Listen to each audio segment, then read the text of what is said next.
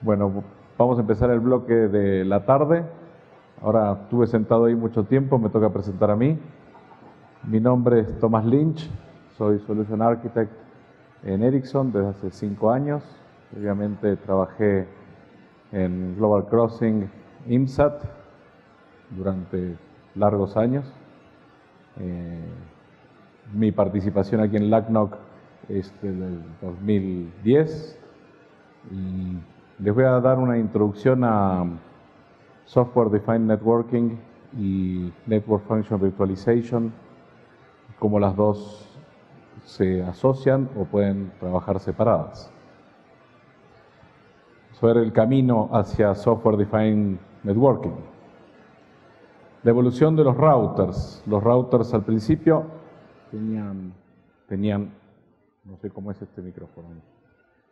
Eh, los routers al principio tienen un CPU, un buffer, todo en conjunto.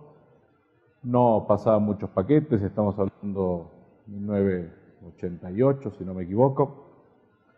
Luego los routers pasan a tener un bus compartido, donde la CPU indicaba a quién le tocaba eh, enviar los paquetes y el buffer de memoria se bajó hacia los line cards o hacia las placas de tráfico. Luego se introduce el concepto de eh, switched backplane, un backplane switcheado, donde la mayoría de los grandes equipos hoy eh, es como funcionan. Tienen un backplane donde todas las line cards se comunican entre todos y entonces eh, eso ayudado por CPU más potentes, eh, podemos lograr mucha más velocidad en el backplane, que finalmente la que nos va a dar la velocidad total del equipo. En esta, en esta evolución de los routers vemos que siempre hay tres planos. Uno que no vimos bien, eh, pero siempre un plano de forwarding y otro de control. Y un tercero de management, que es Telnet, SNMP, etc.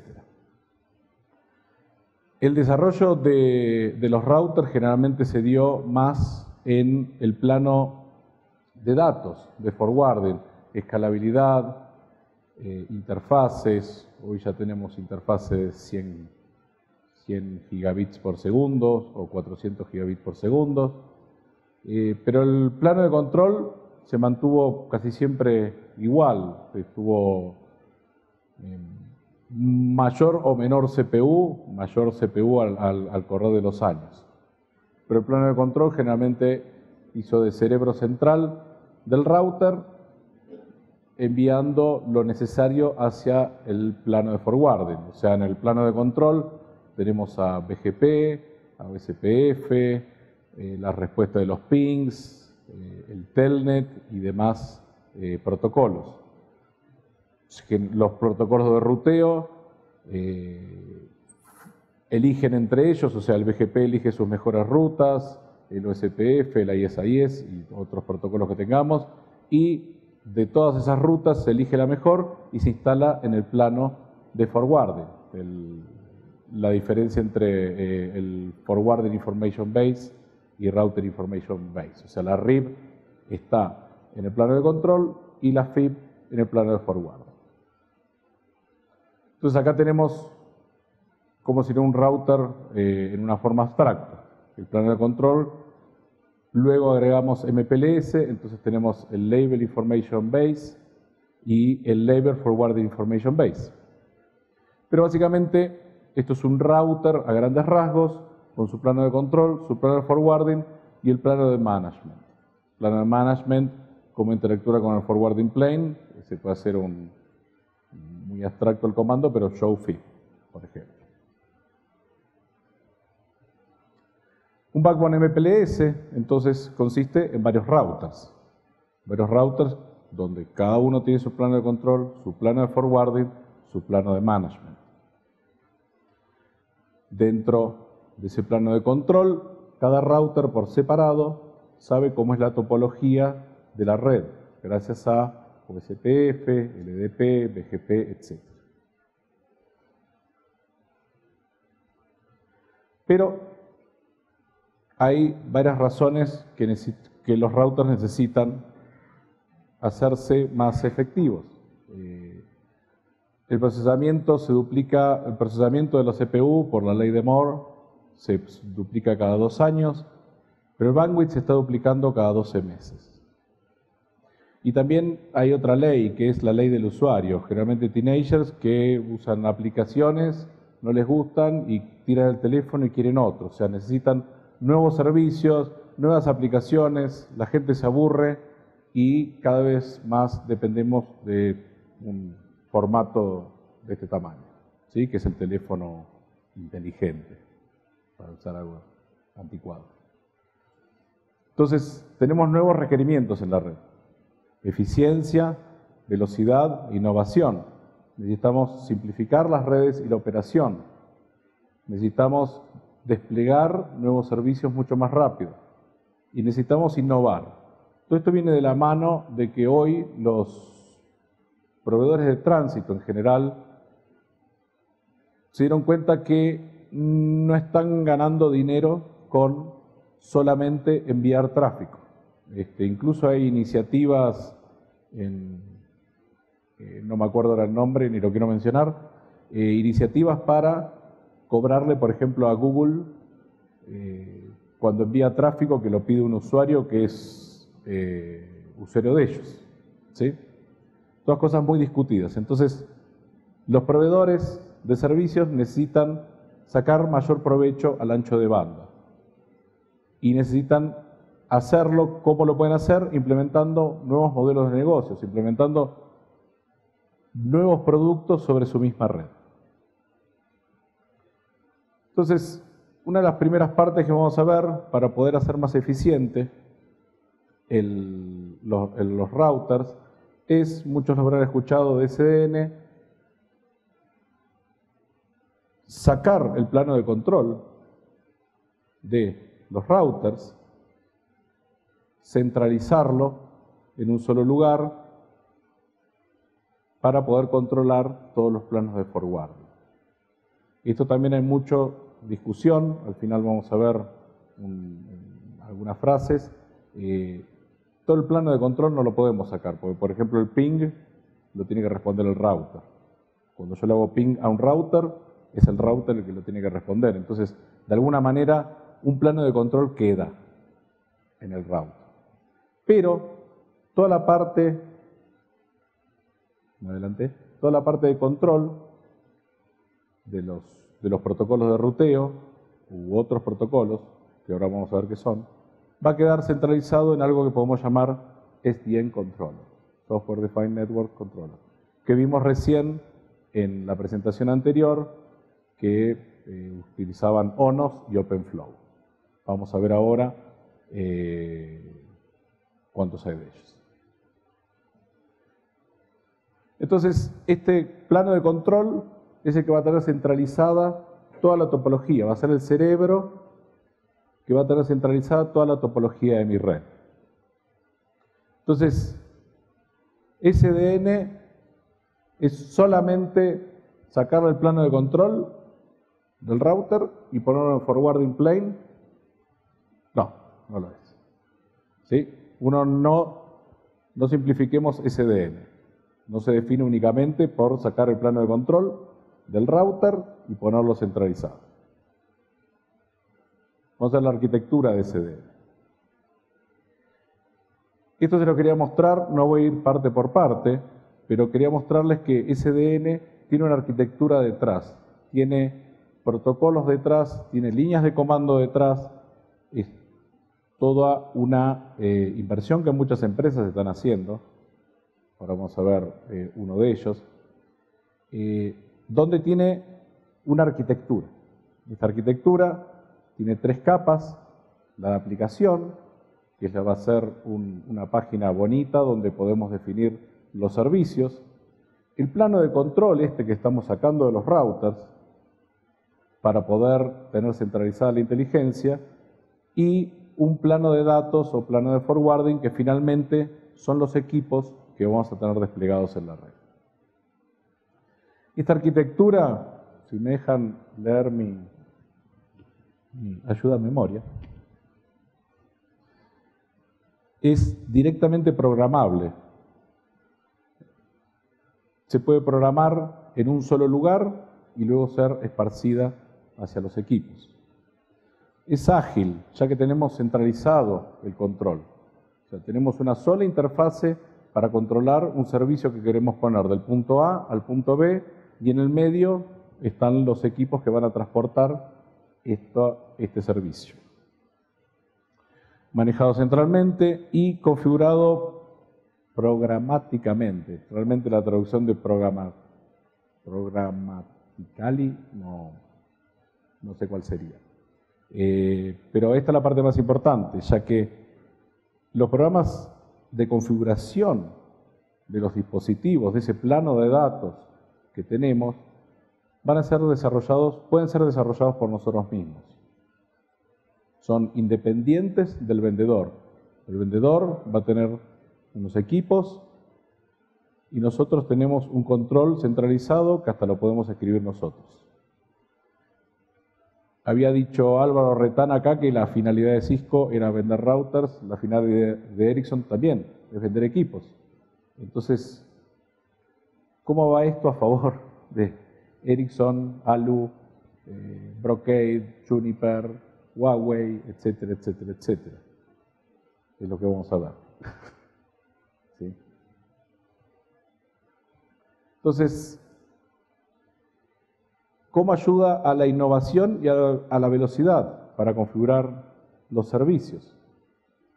Tenemos un vendedor, pongamos, que necesita dar un servicio de video entre una punta y otra.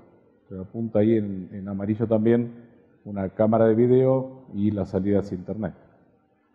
Tiene una aplicación, esa aplicación interactúa con el control SDN, el SDN baja las órdenes, o sea, los flujos que vamos a tener que tener en, eh, en los equipos y el servicio queda establecido. Si necesitamos un segundo servicio, otra vez vamos a esa aplicación, el controlador de SDN le indica a los equipos que están más abajo qué es lo que tienen que hacer y el servicio se conecta. Entonces, esto por ejemplo puede ser que el video pase por la caja de más arriba, a ver si el láser funciona, por esta caja, porque necesita, no sé, será un Content Delivery Network o algún acelerador de video. En cambio, el tráfico normal directamente va por este camino, donde posiblemente, necesite un firewall. Ahí está, ahí volvió. Entonces, tenemos conceptos de, se habla mucho en SDN del concepto de caja blanca. tenemos el controlador y el white box, que lo único que va a hacer es, dependiendo de las reglas que yo le envíe, va a forwardear los paquetes de un lado al otro. Me parece que me faltan slides, pero ahora vamos a ver. Otra de las innovaciones es network slicing, o sea, tener eh, que mm, eh, Humberto lo, explicó, que tenían varias redes sobre el mismo, eh, sobre la misma capa física. Entonces podemos tener varios tenants, varios usuarios, donde utilizando la misma red eh, puedan tener sus distintos servicios. Pero uno puede decir, pero eso es MPLS. O sea, yo le ponía una BRF al usuario, se conectaba en un punto, se conectaba al otro, pasaban los paquetes de un lado al otro y ya está. ¿Para qué necesitamos esto? No, no es MPLS, es SDN. O sea, el usuario lo que podemos hacer con el controlador centralizado y a través de esas aplicaciones es tener una aplicación general para el proveedor de servicios, donde tenga acceso a todos los equipos, a todas las funcionalidades, y dar aplicaciones más eh, restringidas a mi usuario de machine to machine, a un enterprise customer o incluso a otro service provider. Entonces, ese service provider va a tener sobre nuestra red física el control de hacia dónde van sus paquetes. Cosa que en MPLS no, en MPLS tiene un punto que se conecta y otro punto donde se conecta. Las rutas, cómo pasan, cómo se distribuyen, es dominio únicamente del servidor, el del, proveedor que le da ese servicio. En esto estamos. Al tener el, management centralizado, le podemos dar a este que antes tenía las dos puntas la oportunidad de decirle que sus paquetes, que puede controlar por dónde van sus paquetes. Entonces vamos a ver, este es el timer, se me fue. Vamos a ver el controlador SDN, distintos software que hay. Hoy un controlador SDN no es una caja que afuera dice el nombre del proveedor. Hoy SDN, un controlador SDN, lo podemos montar en un servidor. Tiene que tener ciertos requerimientos, pero tiene que tener una CPU, una cantidad de memoria y una interfase Ethernet. O sea que el tráfico no va a pasar por ahí. Lo único que necesitamos es control o señalización. Hay muchas, bastantes, estas son algunas, eh, iniciativas de las comunidades, manejadas por las comunidades y abiertos. Tenemos Open Daylight, Open Contrail, es eh, el ONOS, Project Floodlight, Beacon y Knoxbox. Y tenemos iniciativas desde los vendedores, como Juniper Contrail o Noach de ALU. Una comparación entre los tres abiertos, que no les voy a hablar de los, de los específicos. Eh, los tres abiertos, Open Daylight, Open Control y ONOS, hay mucha gente trabajando hoy en Open Daylight. Eh, hay 2 casi 2.5 millones de líneas escritas para este, para este controller frente a los otros que tienen menos. Justamente le iba a preguntar a Humberto por qué utilizaban ONOS y nos dijo que él iba a estar eh, mudando hacia OpenFlow. Esto en realidad es Open Daylight.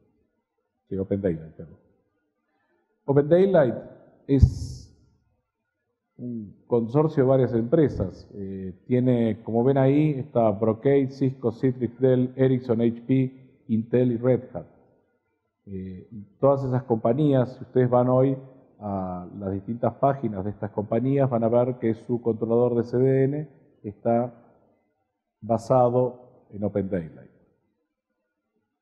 Incluye soportes para muchos protocolos de configuración. El SDN Controller se habla que tiene interfaces southbound, que son las que van a configurar los equipos, y northbound, que van a conversar con un nivel mayor de abstracción como las aplicaciones. Las interfaces northbound eh, son principalmente RESTCONF eh, basado en YAML.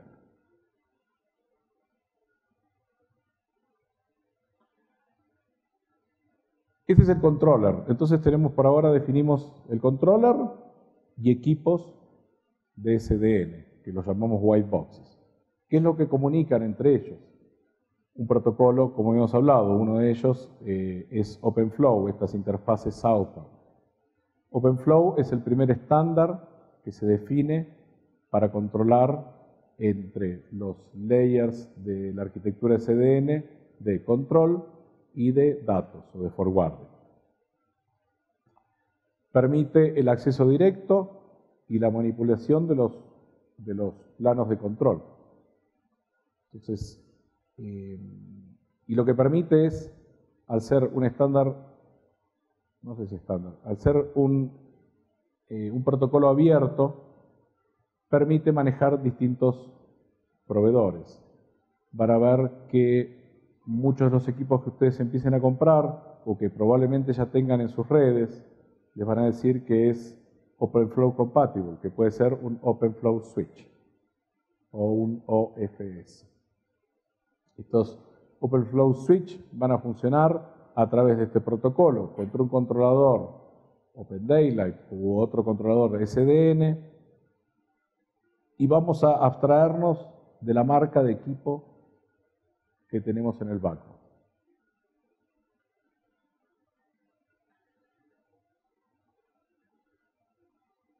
Entonces tenemos el controller y el OpenFlow Switch. Entre ellos se comunican con OpenFlow. El OpenFlow Switch tiene, básicamente vamos a ver que tiene puertos, tablas de flujo, tablas de grupo y tablas de metering. Y aquí vemos un control channel. entonces decimos, ¿dónde está la separación de control y esto? de alguna manera, como había repetido al principio, tenemos un mínimo control dentro del router. No es que está absolutamente todo centralizado en un solo lugar. Eh, sería imposible hacer eso. O sea, que el ping a un router, en vez de hacer ping al router, haga ping al controlador que por ahí está al lado de donde salió el, el, el ping. Entonces necesita ese canal de control para comunicarse con el equipo. Las tablas de flujo se van a ir llenando a medida que los paquetes van llegando.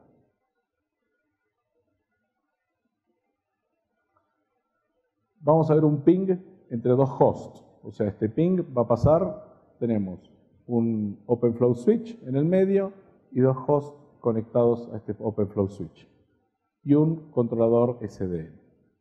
¿Cómo sería el flujo de un simple ping? Esto tenía... Bueno, ¿qué es el PDF esto? ¿Es el PDF o el PPTX? Ah, no se puede poner el... Ahí está, ok. Bueno, yo sabía que faltaban slides, pues el PDF me había quedado viejo. Ok, bien.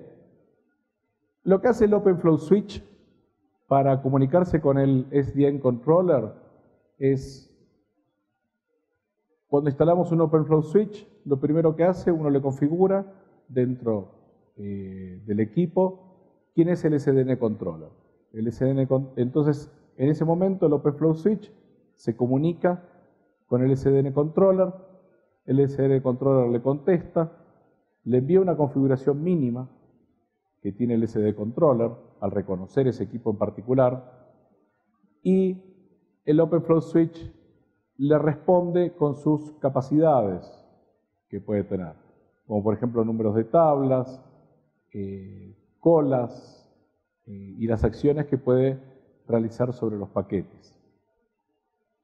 Fíjense que aquí eh, lo que vemos es que el, no estamos diciendo si es un firewall o es un router, por ejemplo. ¿Sí?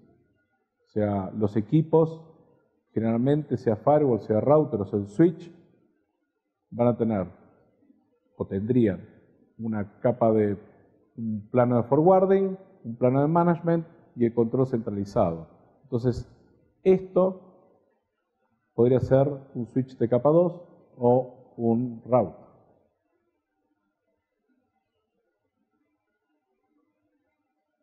El flow de ARP, ¿cómo se hace? O sea, una vez que se comunican el switch con el CDN controller, ya está listo para recibir tráfico. Lo primero que envía es un ARP request, el host 1. El OpenFlow OpenFlow lo recibe. No hay ningún flow definido, no hay ninguna de las tablas, está predefinido qué hacer con un ARP. Entonces le pregunta al SDN controller qué hacer con este paquete. El SDN controller le contesta con, esto es importante, con un packet out. Le dice, este paquete tiene que salir por el puerto X. Una vez que tiene eso, el OpenFlow switch, ahí es, eh, ese ARP request tendría que estar desde el OpenFlow switch, sale hacia el host 2.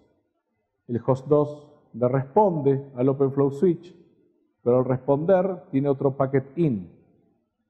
Nuevamente, el OpenFlow Switch no sabe qué hacer con ese paquete, le pregunta al SDN Controller qué hacer y el SDN Controller le responde eh, que tiene que hacer un forward de ese paquete hacia, eh, hacia el puerto requerido, ya que hace un flow modification.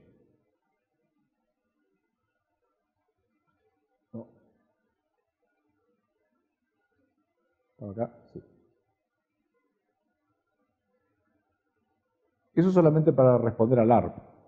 Ya se dieron cuenta que hay varios mensajes entre el OpenFlow Switch y el SDN Controller. Una vez que el host 1 tiene ese ARP, la respuesta del ARP, envía el requerimiento ICMP. El requerimiento ICMP llega al OpenFlow Switch, no sabe qué hacer con eso porque es otro protocolo, es otra cosa. Entonces le envía al SDN controller qué es lo que tiene que hacer con eso.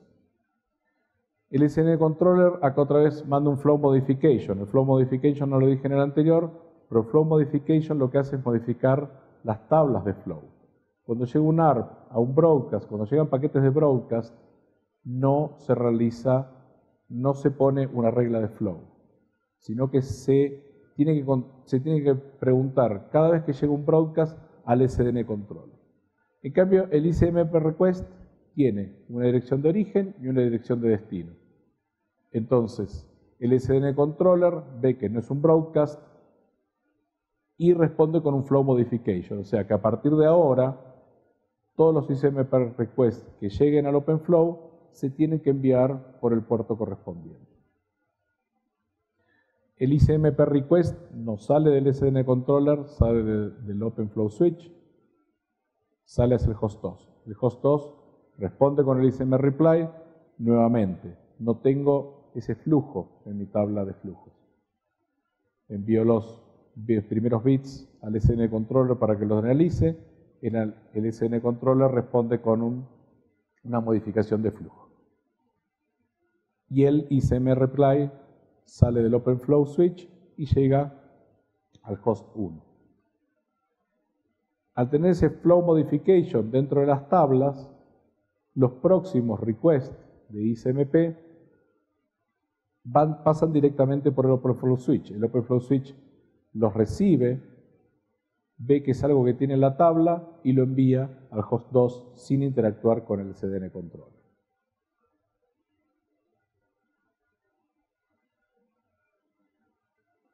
Me faltan un montón de slides acá, pero bueno, vamos con esto. Em,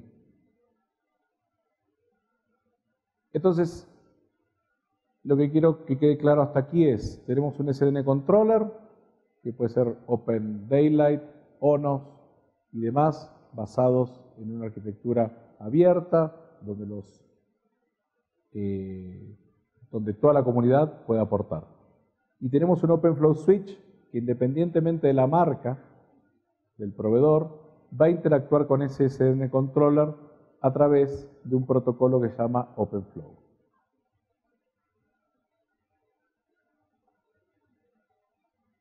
Junto con SDN, y espero no marearlos, y vamos a ver por qué, hay otro concepto que se llama Network Function Virtualization. Siempre se habla de SDN y Network Function Virtualization.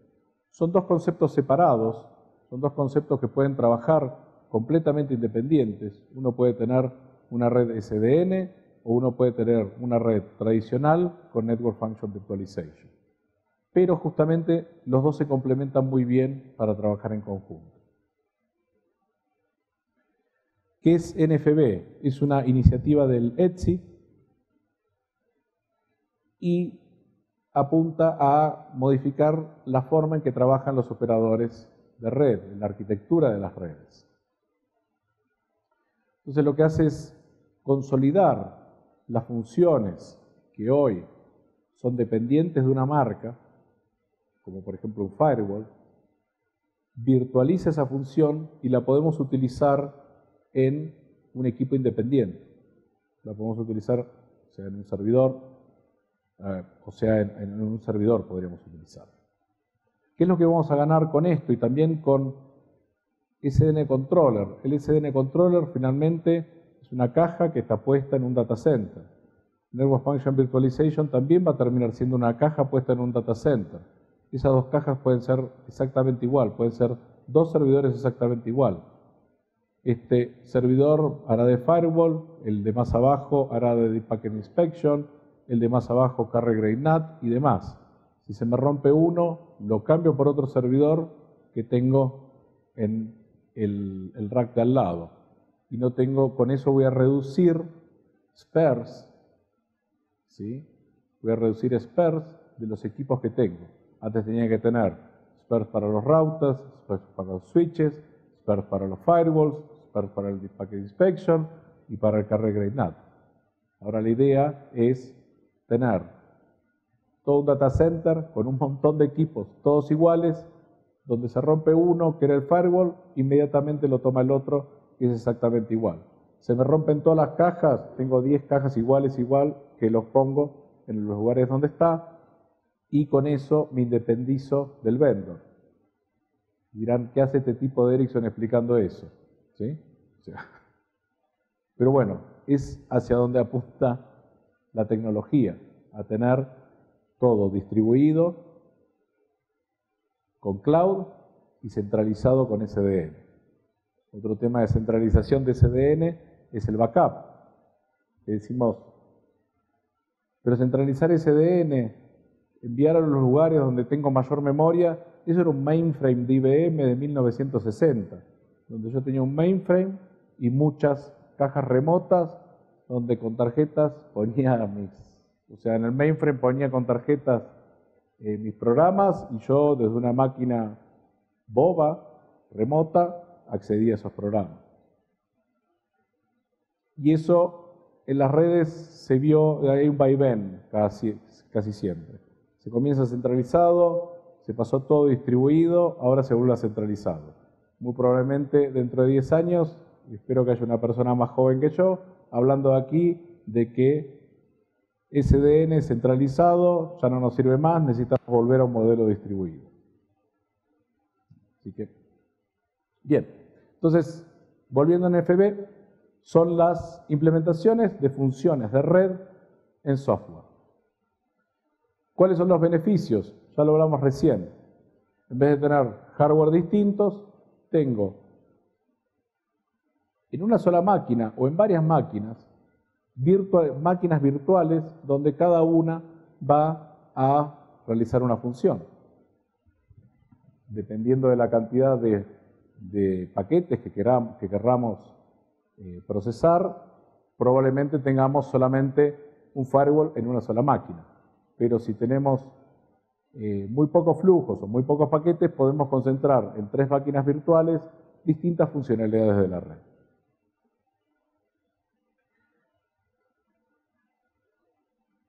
Espero que sí, esto está bien. NFB también tiene una arquitectura.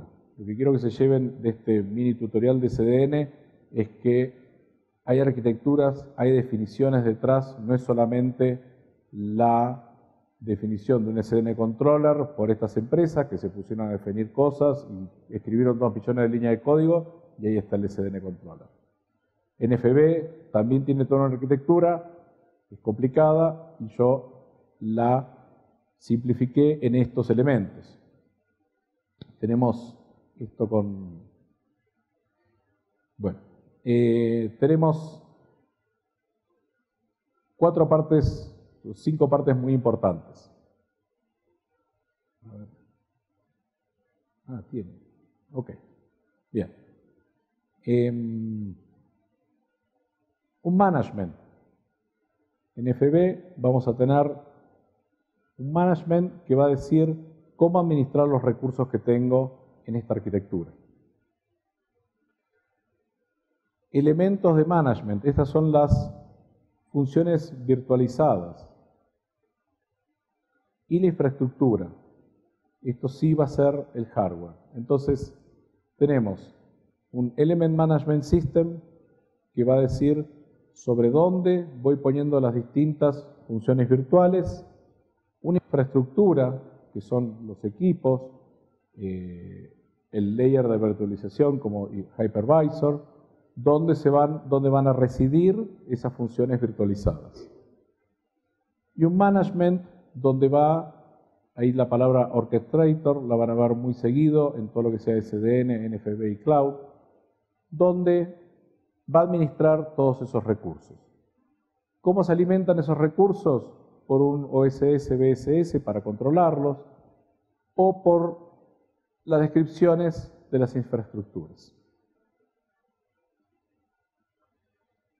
Iniciativas de Network Function Virtualization. Eh, las que encontré fueron tres, porque no es muy fuerte Network Function Virtualization. OPNFB, que no es Open NFB. Eh, OP, Open Platform NFB es, eh, es una iniciativa del Linux Foundation. OpenNFB es propietario de HP y Mirantis, que es eh, una de las empresas que desplegó OpenStack, está desarrollando NFB con OpenStack. O sea, tenemos virtualización de funciones en máquinas virtuales.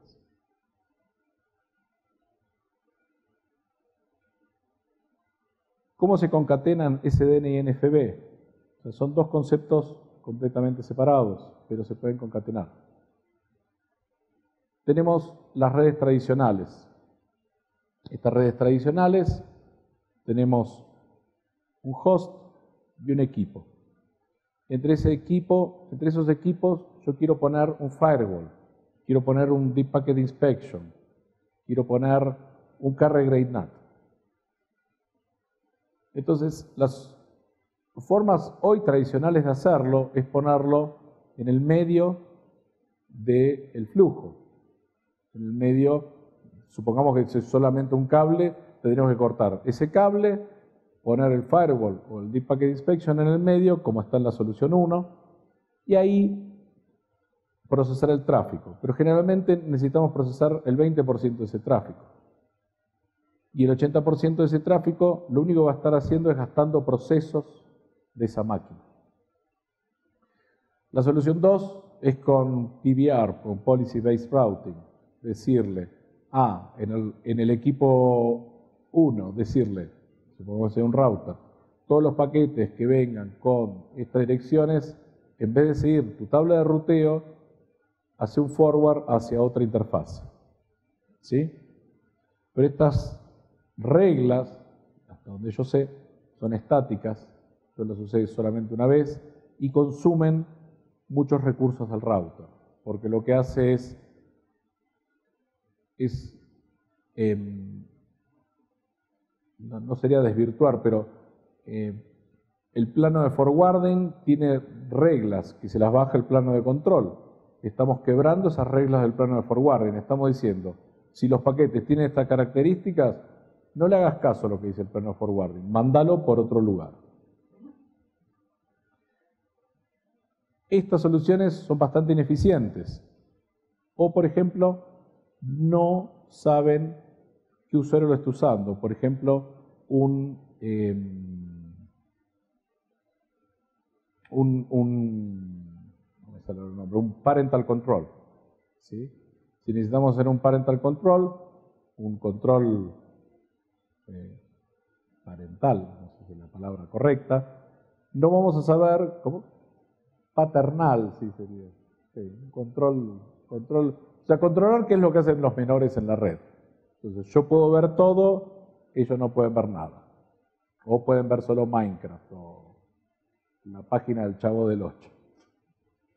Entonces, a esto yo le haría pasar por ese control parental a todos los paquetes y ahí descubrir quién es el niño pero todos van a venir con el mismo número de IP, todos van a venir con las mismas características esos flujos. Entonces, no sirve para esto. Con NFB y SDN, lo que puedo hacer es justamente como yo sí estoy estudiando los flujos y estoy poniendo reglas por flujos. O sea, no estoy haciendo ruteo, estoy haciendo un, switch de flujos, si se quiere decir lo que puedo hacer es poner un, un OFS, un flow switch, un open flow switch en el medio. Y entonces empiezan a comenzar, comienzan a pasar los flujos. Como siempre voy a tener que analizar los flujos la primera vez, le voy a preguntar al SDN controller, el SDN controller me va a decir, no, esto es un flujo de un mayor, no necesita pasar por el control. Cuando viene el flujo del menor, no, este es un flujo del menor, necesita pasar por el control parental. Y aquí, dependiendo, justamente dependiendo de donde lo pongamos, puede estar, eh, puede estar alerta al suscriptor, al destino, a la aplicación y performance. Eso lo veremos después. Eh, pero yo aquí puedo solamente enviar el tráfico que me interesa hacia los procesos que me interesan. Puede ser un firewall, puede ser que todo, eh, yo sea un proveedor donde estoy dando servicios de televisión, donde estoy dando servicios de video. Todo lo que vaya al video no tiene que pasar por ningún firewall porque está dentro de mi servicio. Lo envío directamente al CDN. Pero todo lo demás lo tengo que hacer pasar por un firewall. El resultado que vamos a ver con esto es, con el SDN Controller, al tener una aplicación centralizada donde yo puedo decir a este suscriptor, hacerlo pasar por el firewall, ponerle carga NAT, lo que hago es reducir el tiempo del despliegue del servicio. En vez de ir equipo por equipo, antes iba a tener que configurar, por ejemplo, el usuario en el BNG, configurarle la VLAN, configurarle, eh, configurar el radius para que esté el, password y el usuario, configurarle también el firewall, configurar el carry NAT, generalmente, bueno, eso ya lo tendríamos configurado, pero supongamos que lo hacemos usuario por usuario, o verificar en el carry NAT si tengo o no eh, un pool para asignarle. Con esto lo que haríamos sería simplificar la operación y simplificar el despliegue.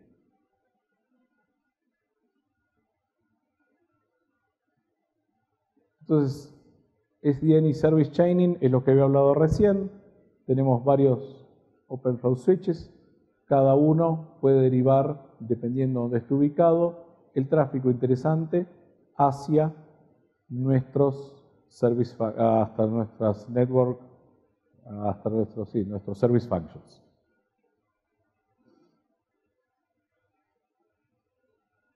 Esos service functions, otra vez, SDN, yo podría traer los OpenFlow Switch y arriba un firewall que sea una caja del eh, proveedor X. Y entonces tengo ahí la caja del proveedor X con sus line cards, con su logo, todo muy bonito. O podría ser un network, network function virtualization. Podría ser un servidor que esté en un data center y que yo envíe el tráfico para allí.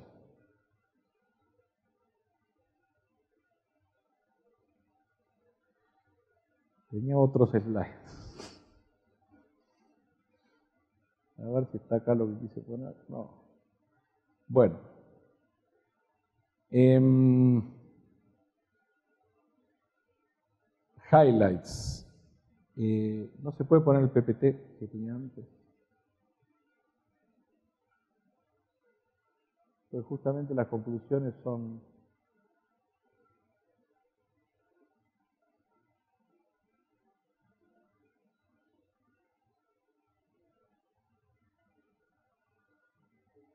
viernes.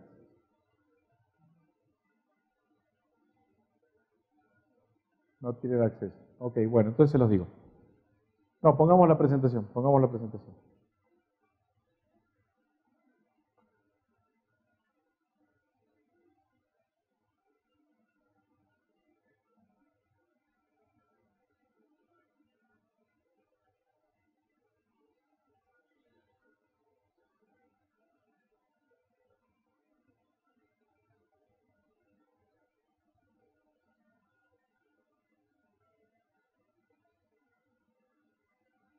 Ahí sí podemos pararlo, por favor.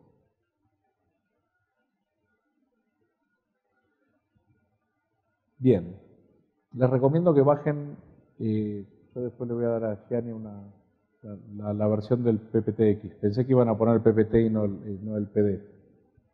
Eh, las conclusiones de SDN y NFB son que, lo que, repito, son arquitecturas que están implementadas a través de estándares abiertos.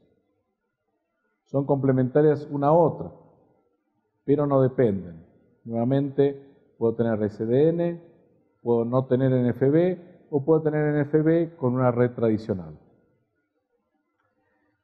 Justamente los, los objetivos de ambas se, eh, son muy similares, que es utilizar equipos que sean commodities en realidad, utilizar equipos que sean todo lo mismo y no me importa si va a ser un switch, un firewall, un DPI o un router. Entonces con esto lo que lograríamos sería tener todos equipos iguales, con eso reducción de eh, stock de repuestos que tenemos que tener. Hay otras eh, dos, dos conclusiones que no están aquí, están en el PPT, que son básicamente, eh, una es un, un, un un artículo que salió en la revista del IETF de junio de Redker que, que habla de SDN, NFB y demás cosas. ¿Qué es lo que tiene que hacer el IETF con todo esto? O sea, porque parece que es un mundo que sería únicamente de programadores. O sea, tendríamos un mundo de programadores, no necesitaríamos más al Network Engineer. O sea, todos los que estamos acá nos, quedamos sin trabajo. ¿Sí? Entonces, ¿cuál es la posición del IETF frente a eh, SDN y NFB? Lo que está haciendo el IETF son varios working groups, que ahora no los recuerdo, pero por ejemplo ya tiene un, eh, protocolo que es el I2RS, que si tuviera ahí las cosas yo me acordaría. Eh, sí. ¿Sí? Ah, acá está todo. Mira, hasta tengo a Moneo. ¿Cómo se llama esto? Ah, acá está. Bien, bien, bien, bien. Esto. Interface to Routing System. Le iban a poner, muchas gracias. Muchas gracias. Interface to Routing System I2RS, le iban a poner IRS, pero son las siglas del, de, la, entonces le iban a poner IRS y no lo iba a querer usar nadie. Entonces le pusieron I2RS para que no quede. Eh, y luego tiene otro working group de Service Function Chaining, o sea, están atacando, o sea, el, el IETF, a pesar de este artículo y justamente de la mano de este artículo, eh, se interesa por el desarrollo de CDN y de Network Function Virtualization. Incluso hay otros grupos relacionados en el IRTF, que es el grupo de research del, del IETF, donde está el NFB eh, Research Group y el SDN Research Group. Déjenme ver qué más tengo acá porque esto quería hablarles. Acá está. No, Jacob Stein. Y eh, Ivan Pepelniak, que hablaron de lo que yo les decía, que primero no es solamente descentralizar, lo único que es SDN es descentralizar la capa de control. Hay una arquitectura, hay, eh, con sus distintas capas, aplicaciones, control y datos. Estas dos personas hablan de lo mismo, que una forma más apropiada de decir que se distribuye el plano de control sería que es un plano de management centralizado. Entonces, ¿dónde queda el plano de control? El plano de control en realidad se redefiniría como un plano centralizado de management. Ese blog de, Iván Pepelniak también es recomendable porque habla de todos los, de qué implicaría separar completamente el plano de control. Ah, acá, bueno, ya no tiene que ver. Bueno, hasta aquí sería mi presentación. Em, no sé si tienen preguntas. Ahora vamos a ver una aplicación de SDN bastante interesante. Eh, les quería preguntar, y vamos a ver si Jaime lo puede hacer, eh, si prefieren que dé toda una demo o la presentación y demo o solo la presentación. Me imagino que la demo les interesa más que, que todo lo demás. Preguntas.